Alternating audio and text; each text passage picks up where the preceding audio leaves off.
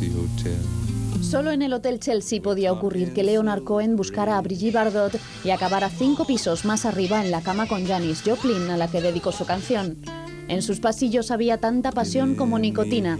Allí se veían Arthur Miller y Marilyn Monroe, o el fotógrafo Robert Mapplethorpe con su musa Patti Smith. Las puertas del Chelsea esconden también historias de muerte, literatura y música. En la habitación 206, Dylan Thomas batió su propio récord, 18 whiskies antes de morir. Tres balcones más allá, Sir Arthur C. Clarke escribía 2001 Odisea en el espacio.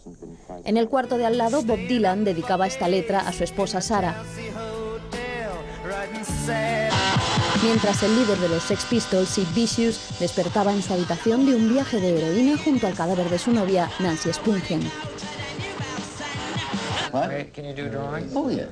En el comedor, Andy Warhol y William Barrow soñaron con las chicas de Chelsea, a las que más tarde cantaba Nico. Pero la fortaleza roja que guarda el legado de la contracultura americana ha echado el cierre. Parece que alguien ha pagado 80 millones de dólares para convertirlo en apartamentos de lujo. Eso sí, en los pasillos quedan las voces de todos los inmortales que siguen allí alojados.